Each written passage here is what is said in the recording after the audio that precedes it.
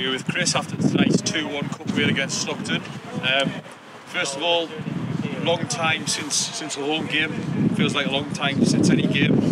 Um, how have you felt that time and have you been working with the team during that, that period have you been working on? found it difficult to be honest. Um, like you say, we've had a, a number of weeks where we haven't had any game time. We're trying to create game time with friendlies and practice games. Um, kept the lads ticking over Christmas period, but like I say, it's been difficult. I'm, Used to playing games over Christmas, so not to be playing games has been a, a bit of a bit of a shock really. But we've ticked them over.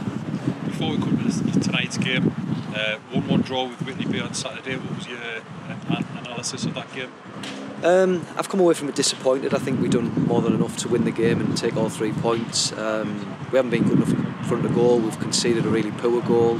Um, there was positives. I think the negative was the fact that we maybe tried to win the game over 45 minutes, which was the second 45, um, and we didn't really do enough in the first 45 to give ourselves enough of a platform to win the game. Um, never knock a point, as the saying goes. Like I say, you know we've uh, we've picked something on, you know from the game and put a point on the board. Um, so yeah, like I say, disappointing, but you know there's positives to take from it. Brings us on to tonight's win. Uh, a great win against a really good Stockton side.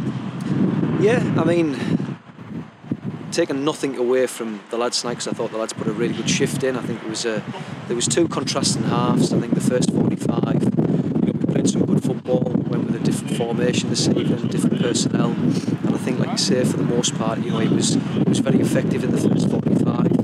Um, good reaction to get you know from one 0 down and get back in the game. Um, the second 45, I think there was times when we maybe could have, you know, had a better a better approach in terms of the game management.